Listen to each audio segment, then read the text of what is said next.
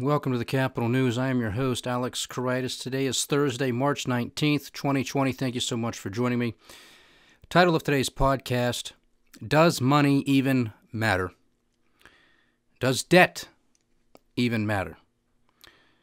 That's the theme, that's the topic of today's podcast. Markets bounced back slightly. I mean, depending on the headline, you would think that this was a huge rally on Wall Street today. It wasn't.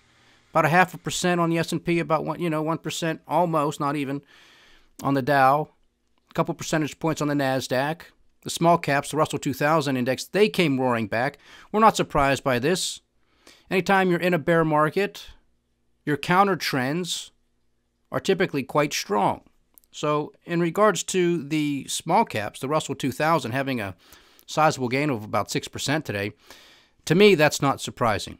Does it mean we're out of the woods? My opinion, my analysis, no, not even close. We're just getting started. This simply eliminated the last three years of gains, which most of it was built off of an existing bubble to begin with more share buybacks, tax cuts that were not needed that have caused trillion dollar deficits. And now we are going to be issuing another trillion dollars plus just for this quote unquote stimulus package. And ladies and gentlemen, we are not even yet, at least not officially, in a recession. So before this, people still had jobs, right? Maybe not the greatest jobs, but they still had a job. They were still getting paid.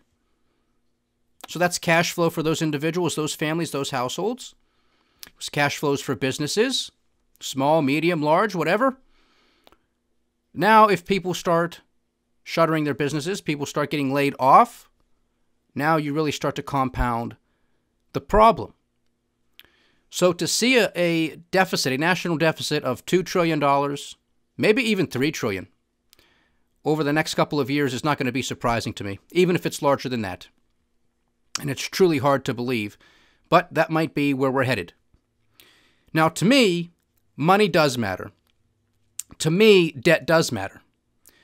I could not have conducted the analysis that I have been, warning about what was going to happen, which is taking place now, if debt didn't matter. However, however, I do believe there are people at the top, the upper echelons of our society, within our government, within institutions of influence, that continue to push this MMT, this modern monetary theory, which basically states, and we've discussed this here before, that money, or more accurately, debt doesn't matter.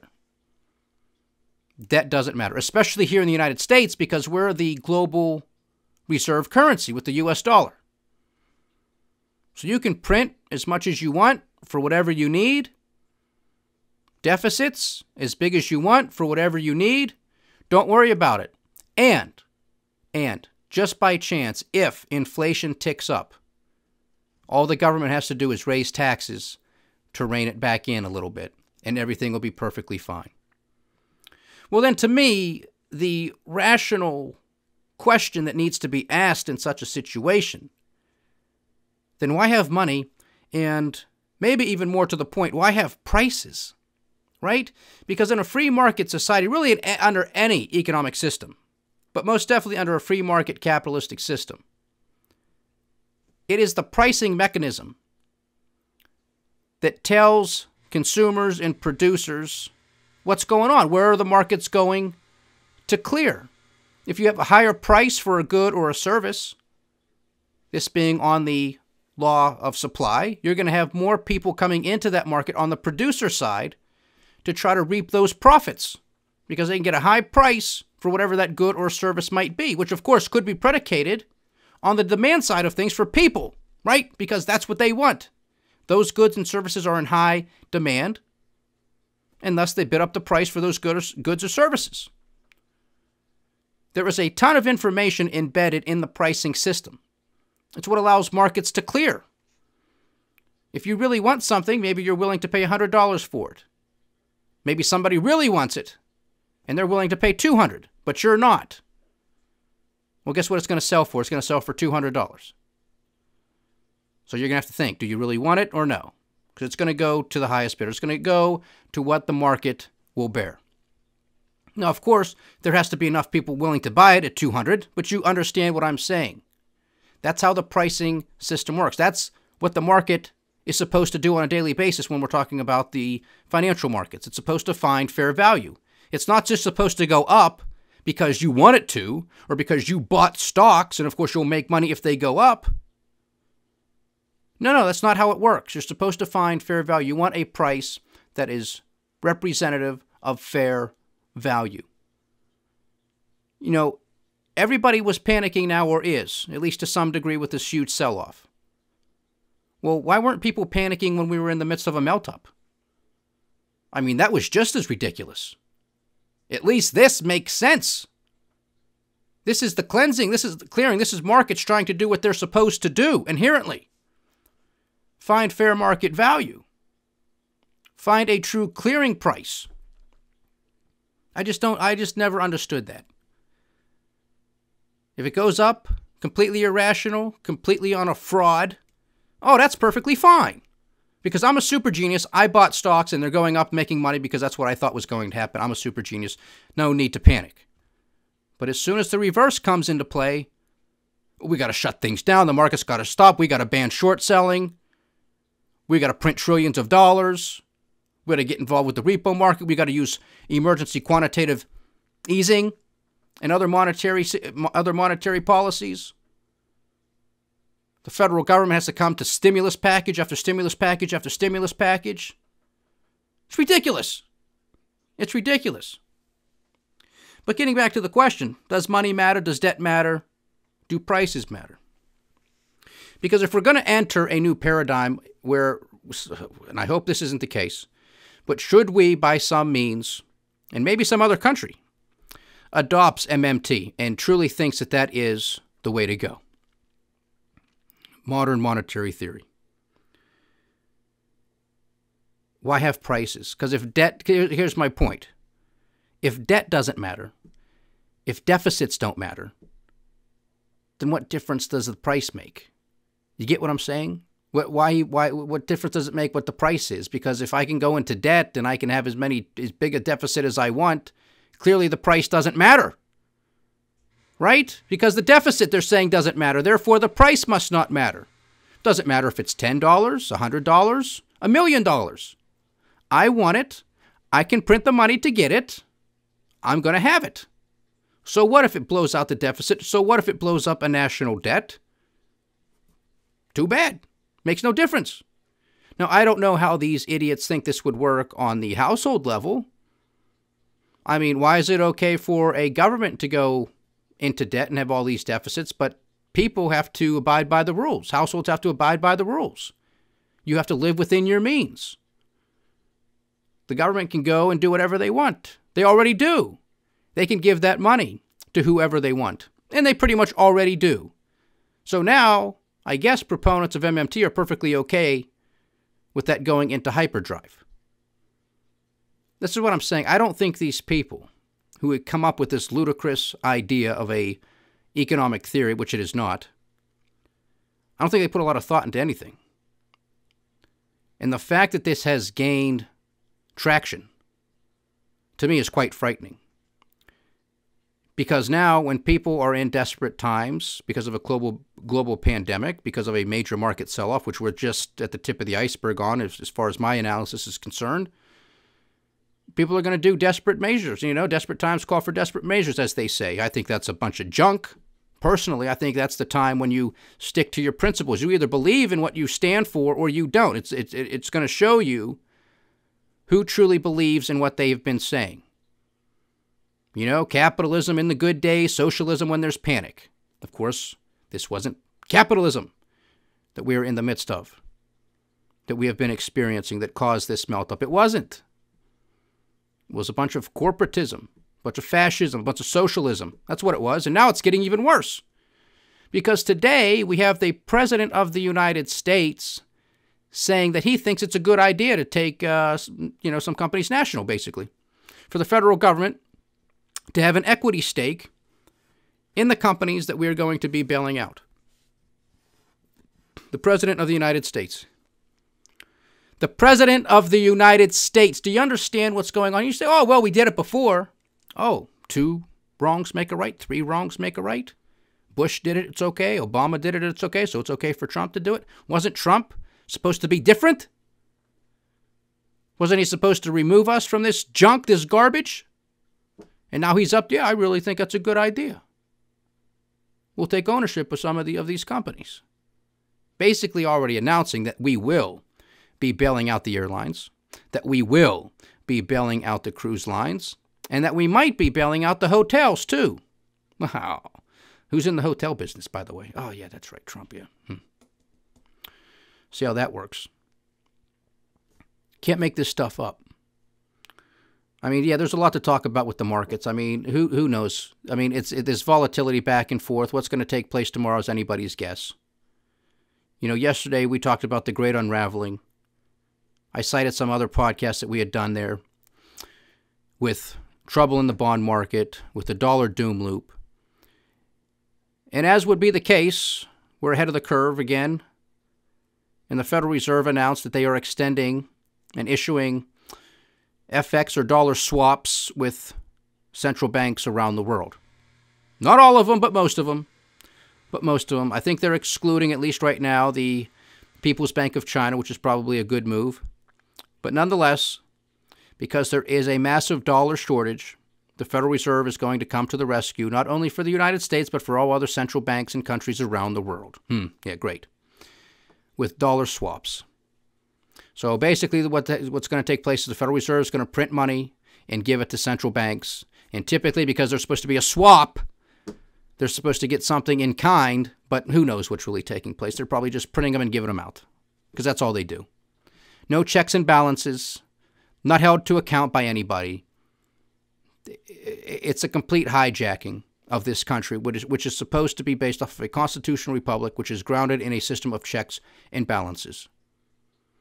These people at the Federal Reserve are not elected officials. They're not.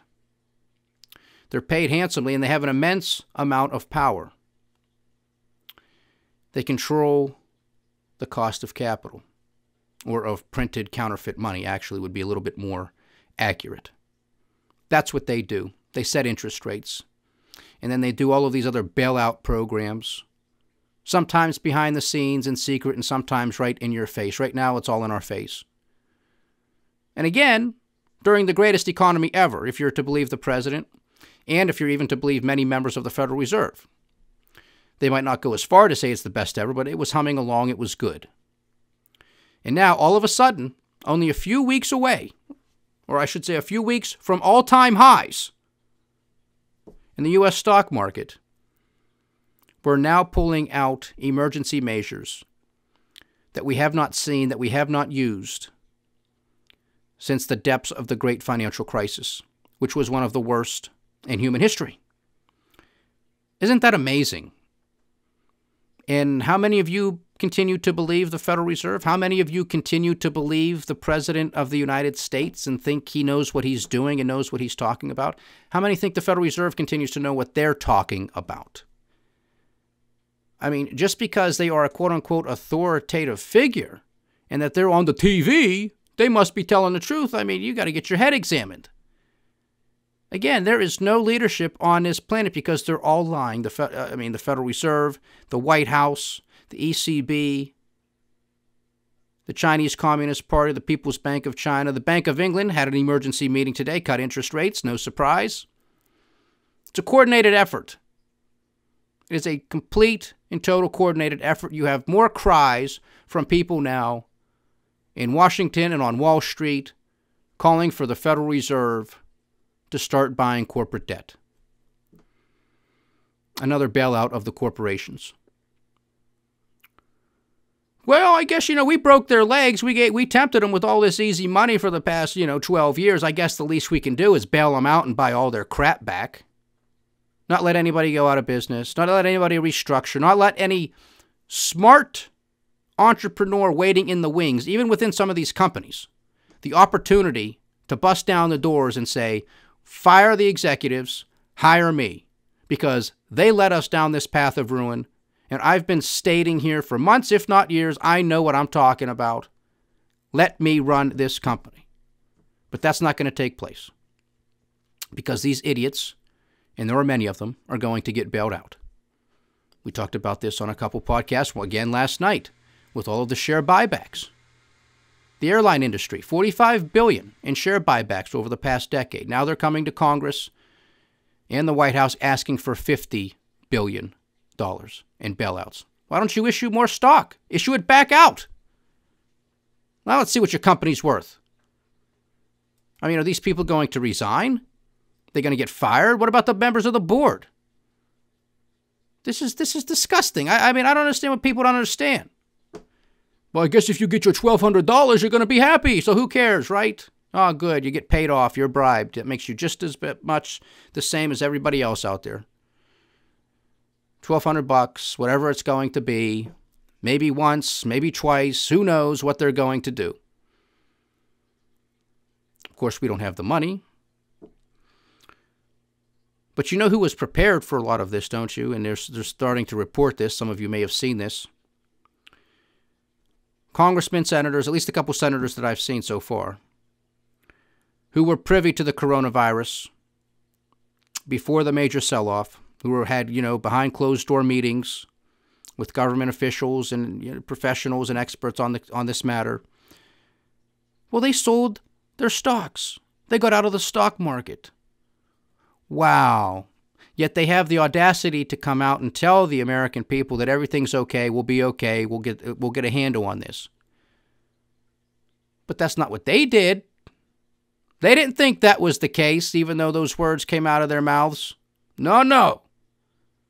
They had to save their own rear ends because they had information that everybody else didn't have.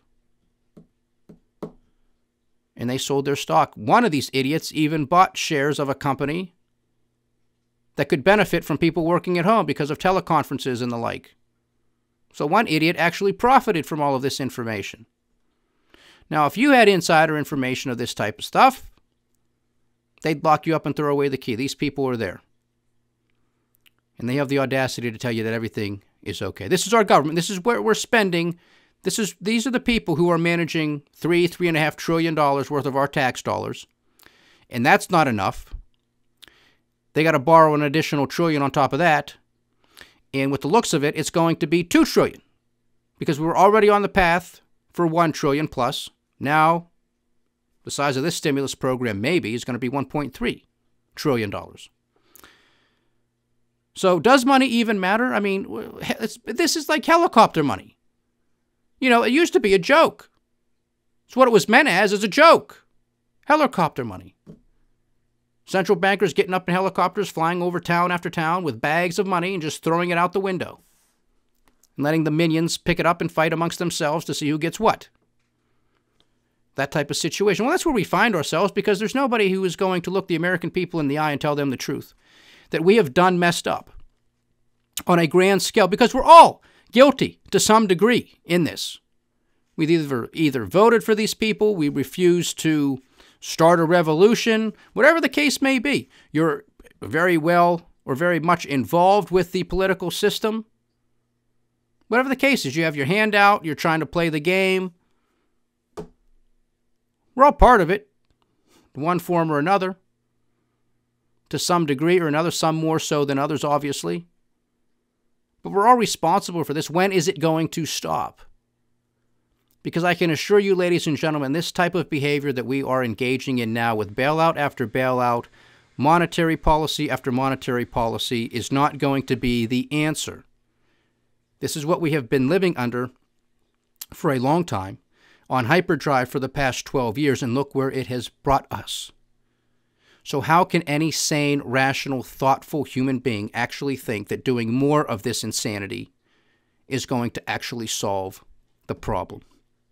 The answer is it's not. And that's why we've continued to see the market sell off to large degrees after announcements of stimulus, after announcements of emergency monetary policies.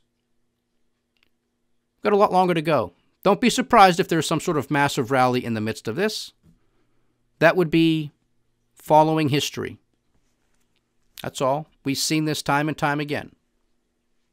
Bear markets, you get major rallies. So don't be surprised if there is. But what that likely, what that's likely going to be is what they call a major bull trap.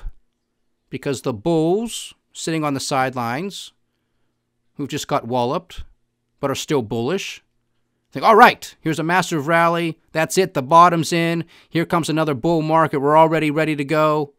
Let's start buying everything again. It's a head fake. It's a bull trap because it ain't so.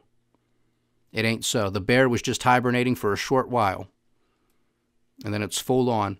And if you study financial history, you study the markets, you can easily go back and see this. I mean, you can go on Yahoo Finance, download the data from the S&P 500, the Dow, the Nasdaq, whichever one you want, and you will see these massive rallies and bear markets only to turn out to be head fakes.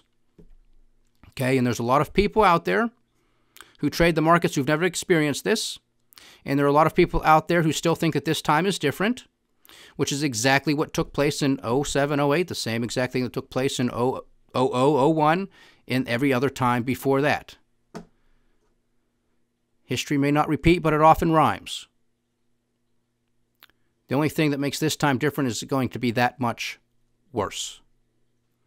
And I hope I'm wrong, but I don't think I am. Because thus far, everything has been playing out as I have seen it. Again, not so much with the rapidity, the quickness of how this is cascaded, but the fact that it has is no surprise to me, and nor should it be a surprise to this audience. I am beyond disgusted with our system, with our politicians, with our government, with our Federal Reserve. You understand why I've been stating here? If you want solutions, you have to abolish the Federal Reserve. If you want solutions, you have to abolish the federal income tax. I mean, what the what what the government is in essence doing right now is giving us our tax dollars back right? Because they're ours. There's no money tree. There's no seeds. Money seeds you plant and then a money tree grows. That's not what the government gets its money from. It gets it from you. It gets it from me.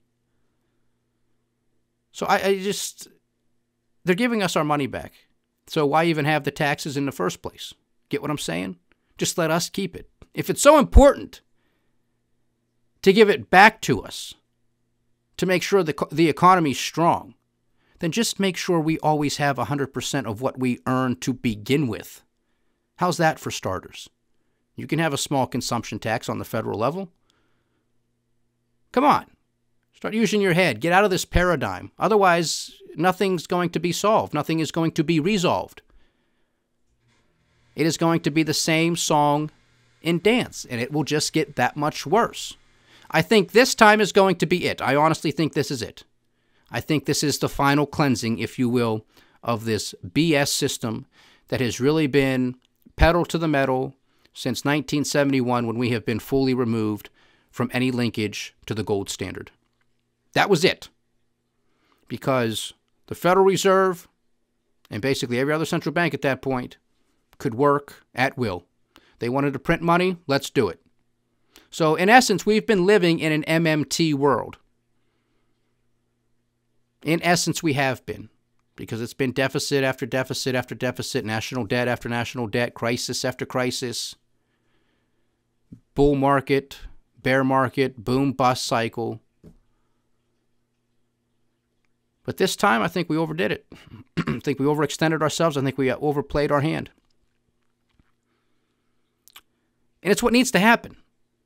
It's what needs to happen. Of course, no politician, no central banker wants a recession or a depression on their hands under their watch. I get it. But President Trump, again, had an, a, a prime opportunity to remove himself from all of this from day one. From day one. But he didn't. Presumably because he's a narcissist or an idiot. And that's putting it lightly. And I've done my best over a few years to defend the man and give him the benefit of the doubt. Now, as of late, over the past several months, not so much. Not so much on a lot of things. I will still give him credit where credit is due. But his rhetoric, his language, his calls for some of these economic policies are just beyond the pale. Unbecoming of a president of the United States, especially one with the mandate that he had to, quote unquote, drain the swamp, whatever you want to call it. But he embraced the stock market. You know, it's one thing to maybe, as a president, to embrace the economy. Okay, I get it. I still think that's a bad play. I don't care who you are. I think it's a bad play. But I get it. The stock market's a completely different thing. I mean, as the president of the United States, you're not supposed to have any control over it. You better not have any control over it. Otherwise, this is not a free market system, which of course it isn't. So maybe he does. But how he pays so much attention to it, how he's basically pegged his legacy and his administration's success or failure to it, to me is is beyond idiotic. Why would you do such a thing? He could be in control of his actions.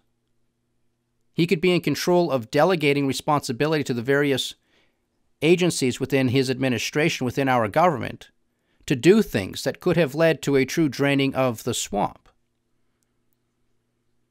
Some accountability, some truth telling, some cutting back of government programs that would not lead to trillion dollar deficits, but would lead to a smaller government with smaller deficits. But that's not the case, is it? It's not even close. So the president, it's going to be very interesting to see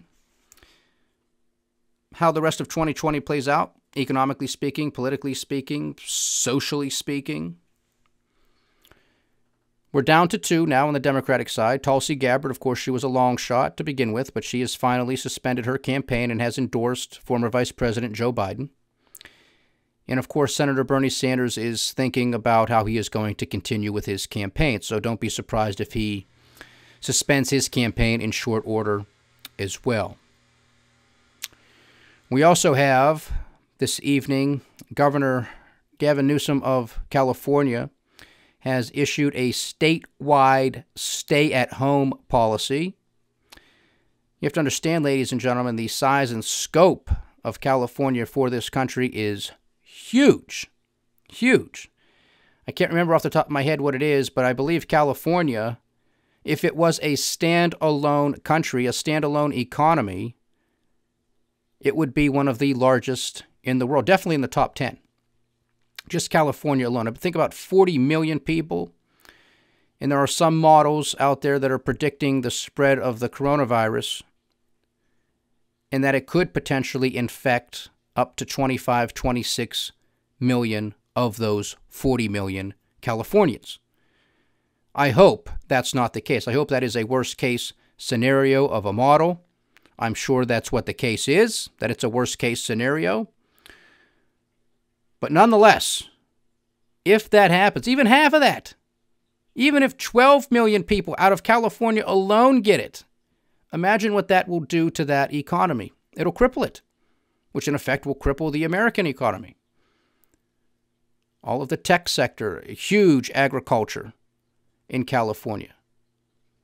So, what kind of shortages are we going to get there? These are important questions because you know you can live without a laptop or an iPhone or some other technology. You can't really live without food. So it's important. So we'll see if this works. Of course, people will be able to leave their homes for groceries and the essentials and that type of stuff. But for the most part, it is a lockdown. Is it a matter of time before this becomes nationwide? Quite possibly. Quite possibly. Again, we tend to trail Italy and some other countries by a week or two, and we know that Italy has been on lockdown, complete lockdown now for what, a week or two? So we're getting there. Interestingly, also, the numbers out of Italy, at least from a death standpoint, has officially exceeded the deaths in China. Ladies and gentlemen, I don't think so. I don't think so. We have Italy, which has an aging population, and you have many households that are multi generational. So you have the grandson, the father, and the grandfather, and you know, grandmother and mother all living in the same house, few generations under one household. But 60 million Italians with an aging population. One of the oldest in Italy, maybe the oldest in Italy, or I'm sorry, in Europe. China has 1.2, 1.3 billion people. They also have multi generational households. And we're supposed to believe that there have been more deaths in Italy than in China? I don't think so. I don't believe the Chinese for a minute. I don't believe the Chinese Communist Party for a minute. These statistics have been BS from day one, and we've been saying so. The Chinese economy, the country,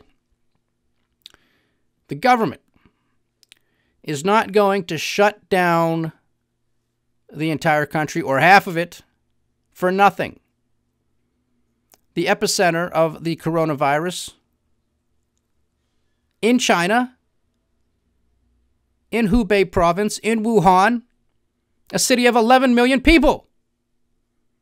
That city alone is one sixth, one sixth the population of Italy, the entire country of Italy.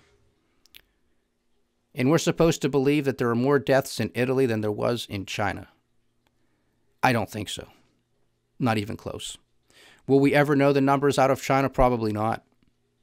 But it's a multiple 10, 20, 100, maybe a 1,000. Who knows? A billion? I mean, a billion people. I mean, do the math. It can add up very quickly. I hope that's not the case, that it's millions of people who have perished and died in China. But my goodness, my goodness, it could have been. It could have been. And on a percentage basis, that still would have been a small percentage of the total population. So we continue to see lockdown after lockdown, shutdown after shutdown, non essential businesses closing or having limited hours. This is going to have a huge economic effect. Obviously, we're seeing it in the markets. People are starting to really witness it at home. But that's what's going on. I mean, does this have to happen? I guess. I don't know. Are we going to know the truth? Is this really that bad? Could be. Could be. Trying to make sure that it doesn't turn into being something that bad. It's crazy times. That's all I know. It's absolutely crazy times. It's biblical. It really is. Global pandemic. We have a locust outbreak, of course, in East Africa and many parts of the Middle East. Financial markets in, in ruin society on the brink of collapse. In one country after the next, protest after the next, civil wars, regional wars, proxy wars, rhetoric heating up between the United States and China a little bit in regards to where this virus started. Because the president wants to come out and say that this is the Chinese virus, which it is, right? That's where it started. There's many names. West Nile. I mean, come on. Is anybody saying that's racist? I mean, that's a, that's a little much. I mean, come on. And of course, the Chinese are saying, oh, it didn't start here. It started from the United States. They brought it over here. So this is getting back and forth. I mean, we got to be careful here. We have to be careful. Because I don't know if this thing was, you know, was it an act of nature? start in a bat and get passed along to another animal. Somebody ate that, and boom, now everybody's sick. Or was this conjured up in some sort of high tech laboratory in China or somewhere else? That's what I'm saying, folks. We do these podcasts all the time with those titles, right? What to believe, who to believe, what difference does it make? Because we're not going to know. We're not going to know, but we are going to follow. We're going to fall in line, aren't we? We're going to stay in our homes. We're going to do our best to make sure we don't get sick, which which should which should make sure that others don't get sick in the process. And that's a good thing. I mean, maybe the silver lining after all of this is people will be more thoughtful and respectful of each other after this experience. Maybe. Maybe. I hope that's the case, but I'm not going to hold my breath. So that's some of the news today. A little removal from the nitty gritty with the market performance. You know what's going on. And we'll continue to do that and continue to have those conversations. But I just wanted to sort of take a step back, talk about what's going on with these lockdowns a little bit. The Federal Reserve, these policies, the federal government, these policies, these stimulus and emergency measures. And to ask the question does money even matter? Because if we're just going to give it out to everybody, in the first sign of distress, then why even have it? What's the point of it?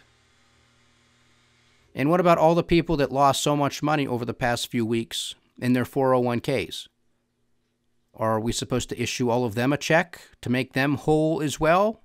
Like we are the airline industry? I mean, why is the airline industry more important than the average Joe who's getting close to retirement, who just lost maybe $300,000, a couple hundred thousand dollars, $100,000, $50,000? It's a lot to him. The CEO of the airline industries are making out like bandits. They might have to give up their country club, but they'll still be fine after the fact. The average Joe, mm, maybe not so much. So when do these bailouts stop? I'll tell you this they never should have started. There should be no bailouts. There should be no bailouts. For any institution, for any corporation, for any individual we have to learn our lesson and we're not. It's just the same song and dance. What about all the other businesses that go out of business or all of the other individuals who have financial hardship when we're not in the midst of a stock market decline or we're not in the midst of a global pandemic? Are they to be forgotten? Evidently. Unless we're all in the same boat together, you're screwed. Hope you're starting to understand that this is not a free market capitalistic system. I hope you're understanding that our government basically wants to nationalize things, corporations, and that our president is perfectly fine with it. You might be fine with it. I am not. Thank you so much for joining me today, ladies and gentlemen. But a pleasure having you. As always, please like, share, subscribe, get the word out, leave your comments. We do love hearing from you. Stay diversified, stay vigilant, and stay with the Kapital News. I am Alex Kritis. Godspeed.